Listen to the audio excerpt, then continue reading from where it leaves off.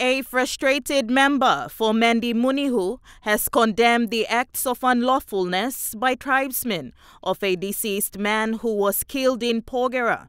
Tonpi highlighted the event leading up to the recent rampage. Just recently, uh, there was a killing in Porgera.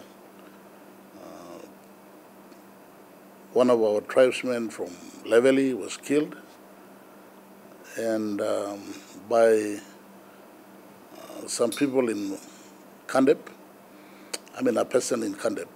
They were waiting for compensation or something to happen. Huh? They were waiting for the uh, people to come in and pay some compensation, but when that didn't happen, he further highlighted the course of events. the boys uh, became very frustrated and went on rampage last night and they went into the police station. I was told that they went into the police station, uh, harassed some police officers, including the PPC, and also uh, destroyed some vehicles and uh, threw some rocks to the glasses of the police station. He apologized to the police fraternity at Mendi and condemned the act.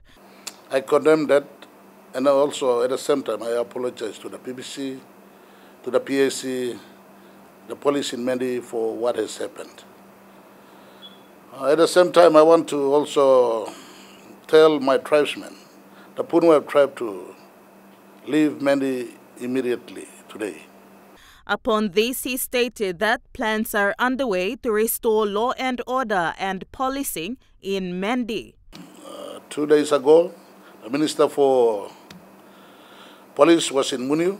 That's where we will put a 30-man highway patrol uh, barracks, a unit, where we'll have 30 men working out of uh.